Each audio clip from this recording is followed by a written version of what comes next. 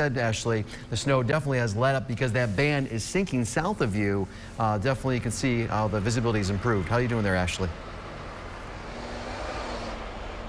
Hey, John. I mean, things have somewhat improved, not improved to my liking, but it's not coming down as hard as it was earlier, um, just less than a half an hour ago. But it's still it's still coming down, and the roads are still very very slick, and they're still covered in snow. And it's that hard snow that you hate driving in. At least I hate driving in.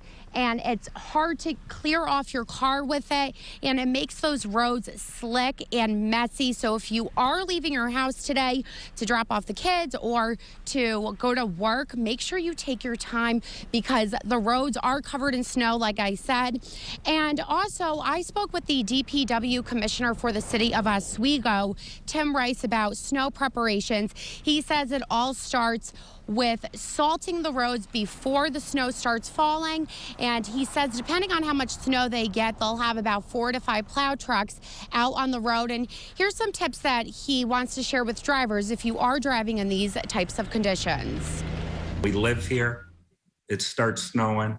Just slow down and be patient. We're getting into that time of year where give yourself the extra time to get to where you're going. Pay attention and brake earlier and just slow down like we all do during the winter. Like Tim said, give yourself extra time before you head out the door today, and also definitely extra time to clear off your car, unless you have a dad like me who usually clears it off for me, but he's in Albany, unfortunately.